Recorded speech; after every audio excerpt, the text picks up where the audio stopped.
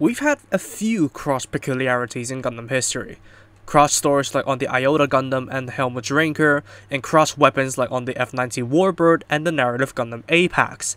But nothing is as peculiar as having the fuel filler cap there. It's like having to fit a catheter after every single operation. It's funny, but I get chills every time I think about it. What is going on guys, MJ2005 Gundam here, and today I'm going to be reviewing the P-Bandai High Grade Barzam Advanced Zeta Reboot version from Advanced Zeta Reboot Gundam Inle Black Rabbit Had a Dream. The first of the Advanced Zeta Reboot kits in the market, and certainly won't be the last. A disclaimer before I begin though. A subscriber has planned to give me the red version of the kit alongside a bunch of other stuff for my birthday, but unfortunately, they encountered health issues and were admitted to the hospital right around when the package would be sent out. In other words, the red Barzam will be here eventually, and we can only wish them a speedy recovery until it is. Another thing is how I accidentally deleted the photos of the full runners from trying to delete bloopers on my camera. I apologize for that and I will make it up to you when the red one arrives. But anyways, this kit comes with 10 full runners alongside a slightly large sticker sheet and a minuscule peel-off decal sheet. Other than expressing bafflement towards the discontinuation of water decals, you can expect a simple and straightforward yet fresh build as the parts are completely new to this kit. There are a few tiny pieces, but beginners and beyond should have little trouble getting this assembled. Straight away, the finished product looks absolutely stunning. The Titan's blue complements the orange, black and red, and the light grey frame brings a little bit of light to the overall color scheme.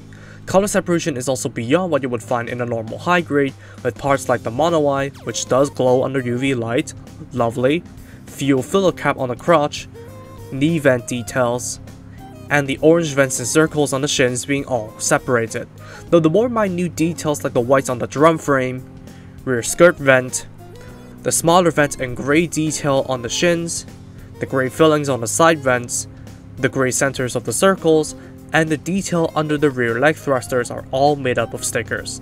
It isn't all that bad given the high grade budget, but the ones on the drum frame just looks a tad awkward with the multiple folds. Now the reason I got this version compared to the original is due to the more realistic proportions. I never took a liking to the original's blocky and cartoonish design and color scheme, but the Advanced Zeta version refined the blocks and darkened all the colors, and what resulted is a more sleek and slender design which blends the weirdness of the Barzam design with its Gundam Mark II roots, and the model kit reflects that very accurately. The only flaw I could think of is how susceptible the blue and black plastics are to nub marks, but the gates aren't in places that are too tricky to clean up. Overall, this kit is an absolute looker and worthy of a place in any Advanced Zeta collection. Standing just shy of 14cm tall to the top of the head and 17cm to the top of the mohawk, it is taller than the average Gundam. While it may be in the typical Titan's color scheme, it's the first time in a long time since we had a non-Gundam design from Advanced Zeta in high grade form, so it does stand right out. Moving swiftly along to articulation, first of all beginning with the ball joints and the sideways neck joint in the head so it can jam out to some tunes. It doesn't necessarily go up, go down slightly, side to side very good, and a full rotation. But something to keep in mind is that the mono eye doesn't move, it's fixed, so there's no mechanic, you can't move the mono eye, but you do have good side to side rotation anyway, so it doesn't really matter too much. Now the arms over here can swivel out decently, the shoulders can swivel up decently, and it's on a ball joint so you can kind of roll it around, it can fully rotate all the way around. The arm joint over here is kind of peculiar because you don't really get too much out of it, but swivel it up, you can get over perpendicular if you couple it with the ball joint that is right above the elbow which provides the elbow rotation and you can have it roll around just to have a broken joint in there. The arms can of course bend on a double joint which gives decent results. The wrist over here has a wrist joint slightly, you can pivot it and the wrists themselves are on ball joints as well. Now the waist itself, it does have piston movement in the waist over here if you can focus so you can swivel it up and down. You can see the pistons actually moving. It's not fake.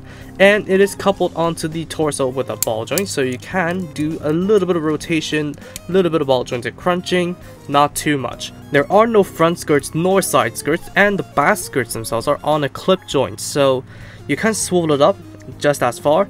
But if you put it down, it often goes loose. And sometimes it just gets stuck. On top of that, the top flap over here is on the clip joint, so you can pivot it slightly to allow for more movement of the back skirt. And with that out of the way, the legs themselves, you do have a forward and back swivel separate from the waist. The legs can go forward, basically a full forward kick, going back decently, going out to the side, not the full splits unfortunately, but because of the thigh armor design, it's basically expected. Now there is a slight rotation of the thigh because of the joint, and a double jointed knee, the first joint doesn't really provide too much, it only provides a minute amount, and a full rotation back, so you can get an over 90 degree bend, which is definitely a nice thing. Now the ankles over here, they can go forwards and back very tightly. There is a slight ankle rocker and a slight ankle rotation, and the toes do have slight movement. Now moving on to the backpack over here. The backpack is connected onto double ball joints in the back, so while it's not customizable, it does have decent adjustability. And the thrusters are fixed, thank god. Articulation of the Barzam is definitely very good, and the lack of polycaps means it can hold itself together very well. While I would ask for more upward set movement, it's not necessarily a complaint as it is not Bandai's fault, but absolutely tighten the clip joints on the baskets. For accessories, it only has a pair of holding hands, so it's slightly lacking in hand options for those that would like to display it dynamically. For weapons then, we begin with the beam rifle. Though similar to the original Barzam's rifle, the elongated prongs refines the design and makes it look less awkward. Everything is made with plastic, but I would have wished that a pink sticker for the scope is included. Moving parts include a stationary handle and a double jointed arm at the end, and you can simply sandwich the handle into the hand, before plugging the hand back into the socket and the connector onto the bicep for use. Thankfully, because of the rifle's arm, arm articulation is not hindered at all.